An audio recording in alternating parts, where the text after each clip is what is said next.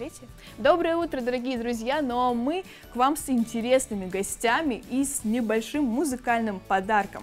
Сегодня у нас в студии группа японских барабанщиков, и представит их у нас сегодня Адулжан Бабаджанов, барабанщик. Доброе утро. Доброе утро. Эльмира Синалиева. Доброе утро. И Пигзат Таев. Доброе утро. Ну и, конечно, менеджер гру- группы это Канакей Джарубекова. Доброе, утро. Даша, я правильно понимаю, что ты целенаправленно не стала говорить название группы, чтобы просто не ошибиться? да? А, Я хочу Давайте- на вас попросить, чтобы вы прям, как положено, вот в японском стиле с нами и поздоровались, и назвали свою группу. А, Поздороваемся и название группы тогда. Сейно. Охайо годзаймас. Ода дайко. Вот так, вот так Красиво звучит. Да. А что значит?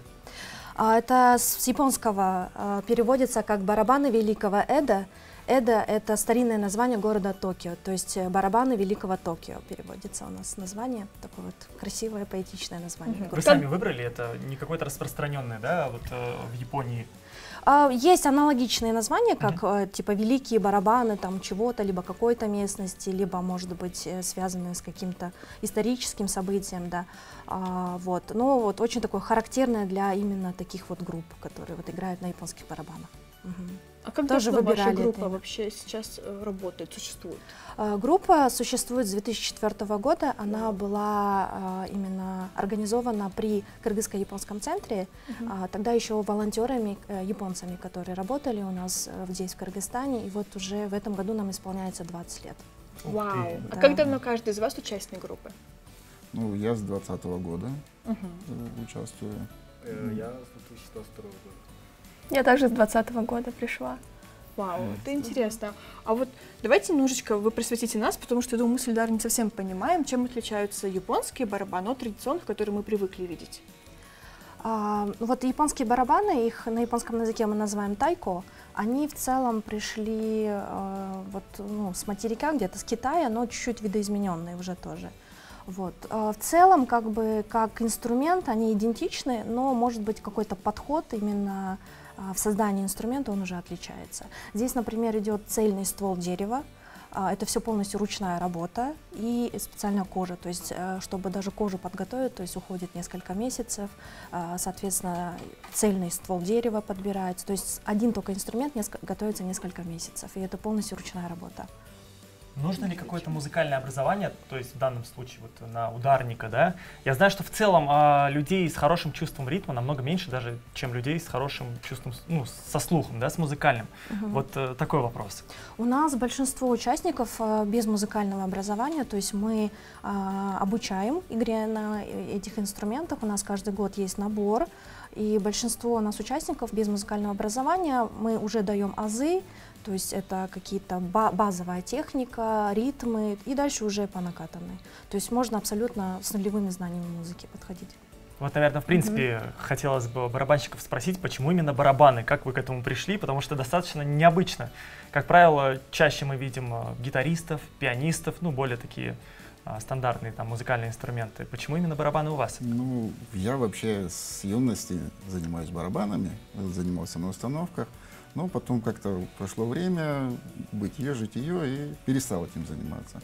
Но потом в Инстаграме увидел объявление, что происходит набор, меня это заинтересовало, и как только пришел, все, я в эти барабаны уже совсем по-другому смотрю и по всем по-другому влюбился. Мгм. Потому что здесь это обычная установка, это да, ты играешь, там тот же звук, но здесь совсем другое. Здесь именно она моща, этот удар, этот звук, это э, оно, ну как бы тебя прям, я не знаю, превозносит что Мгм. ли, ты, ты уходишь в это полностью, тем более командой. Ты на установке один играешь, Мгм. как бы сам, а здесь команда. Ты, ты должен именно в команде играть, и это должно звучать. Поэтому это очень круто. Бигзат, что тебя привлекло? Я сам увлекаюсь японской культурой. И впервые, когда я увидел на концерте выступление, я тут же влюбился в тайку. И как сказал Адлсан, это командная игра. Вот. Эльмира? А у меня такая же история. Я как-то посетила японский фестиваль. Это было а, в Саякате. И с первого же удара я поняла, что это моя любовь, и я хочу попасть в эту группу, попробовать себя в этом. Скажите, а вот это вот это уже зафиксированный состав группы, либо есть, например, второй состав, или есть еще чуть больше участников? У нас участников больше, около 20 человек. У нас есть э, ребята, которые уже более 10 лет тоже занимаются в группе. И вот у нас есть более такой старички состав, новички, тоже э, есть преемственность, мы передаем знания друг другу, и вот так тоже обучаемся и набираемся опыта. Угу. Какие-то у вас есть выступления или, возможно, не планируются? Выступления у нас есть, мы очень часто выступаем. А, Мы часто выступаем на фестивалях, которые проводит японский центр, также на культурных мероприятиях, которые проводит посольство Японии в Кыргызской республике, то есть нас можно там постоянно увидеть. Плюс а, мы проводим также свои сольные концерты в том числе. Вот, поэтому приглашаем вас на наши фестивали, праздники. А, И вот 1 июня также состоится фестиваль японского центра. Вход свободный, тоже приглашаем всех поучаствовать. Мы обязательно будем. Ну и на частные мероприятия, я думаю, тоже приглашают. На частные тоже бываем, да. А, Если вот э, помимо основной деятельности, если остается время, мы тоже бываем на таких мероприятиях. Мгм. А вот интересно, вы когда-нибудь были в Японии? Знакомы ли вы вот прям вживую с культурой Японии? Ну, мы пока, Пока, еще не пока были. нет, да. Мы пока еще Мы не как бы, э, ну как бы это в планах у нас имеется, как бы более старый состав, это было давно, конечно, группа съездила тогда, а вот нынешний состав пока еще не ездил, но мы планируем, хотим, То есть группа, например, может выехать в Японию вместе со своим концертом. Да. да. Изначально так и было, да? Мгм. То есть старый состав выезжал вместе с э, каким-то номером. Но сейчас зачастую у нас была такая тенденция, что именно японские музыканты, э, барабанщики приезжали к нам сюда.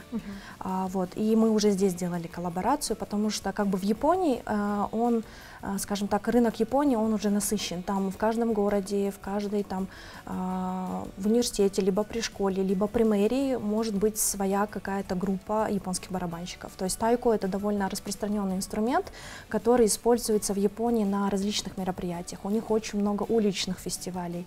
И обязательно какая-то тайко-группа, группа барабанщиков что-то представляет. Поэтому а, на протяжении этих лет мы пока приглашали сюда, нам приезжали несколько учителей японцев тоже с Японии, которые делились своим мастерством, ребята перенимали какие-то знания. Вот. Ну и вот сейчас в планах, конечно, хотелось бы, мы рассматриваем как бы разные варианты тоже, как бы, чтобы группа сама съездила и воочию как бы уже в японской культуре тоже оказалась. А вот, например, если мы с Эльдаром вдруг захотели бы начать заниматься и играть на японских барабанах, вообще есть ли какое-то ограничение по возрасту? Или здесь вообще все возрасты покорны, так сказать? Хороший вопрос, нам его очень часто задают. Э, Мы каждый год делаем набор, э, то есть для всех желающих, но от 18 лет и старше. Вот. и Если вам есть 18 полных лет, пожалуйста, приходите на наши курсы. Почему, кстати, такое ограничение именно от 18? Э, Дело в том, что группа часто выезжает, и у нас э, тренировки зачастую проходят в вечернее время, Мгм. поэтому как бы мы ждем совершеннолетних. э, Чтобы у- не приходилось э, э, отпрашивать у родителей. Ну, не совсем Условно. так. Ну, зачастую мы сразу же выезжаем, поэтому нам, ну, как бы уже нужен готовый такой ученик, который может вы- выезжать и так далее. У нас есть ученики, которые вот дождались вот 18 лет и потом подошли. Мы их тоже потом в группу Это вы, приняли. Да? Да, долго ждала, когда попаду в эту Действительно, прям вот вы хотели, со скольки лет вы хотели? А, С 12 лет ждала, когда мне наконец наступит 18. И вы так дома по кастрюлям, Да. репетировали, били. Мама мучила. Да, я все еще о кастрюлях думаю. А вот такой вопрос. Я знаю, что традиционные барабаны чаще всего для эффекта и шоу наливают воду, так это все красиво, очень эффектно получается. Вот используете ли вы во время игры тоже там воду, какие-то, возможно, спецэффекты, чтобы шоу казалось чуть более эффектнее? А, Это, знаете, зависит от стиля игры группы. У нас более такой традиционный подход. а, И так как у нас более натуральная и кожа, и дерево, как бы она воду не преемствует, Мгм. поэтому мы не используем. Но а, у нас э, есть, э, были эффекты со светом, с дымом, то есть вот такое мы тоже как бы применяем. Но плюс мы акцентируем внимание на самой игре и у игре участников, поэтому мы иногда не используем такие спецэффекты, чтобы показать красоту самой игры, потому что когда играет весь ансамбль, там от 10 и более человек может быть. И чтобы как-то это не заглушать, мы иногда так ост- оставляем просто. Ну, на самом деле я уже хочу поскорее увидеть Услышать. услышать и увидеть вживую, потому что я видела немного а, в интернете. Там, в принципе, это надо и видеть, и слышать. Это очень такой эффектный момент, поэтому я вас провожаю. Я хочу, чтобы вы так как-то... Вы знаете, да, все свои позиции? Да. Да, и сейчас, наконец-то, долгожданный момент. Ильдар, вы готовы? Да, я готов. Э, Я вижу, есть два больших барабана, один немножечко поменьше. Вот интересно, как каждый из них будет звучать. Так, ребята уже почти готовы. Блин, мне кажется, должна быть такая сила в руках. Я думаю, сейчас...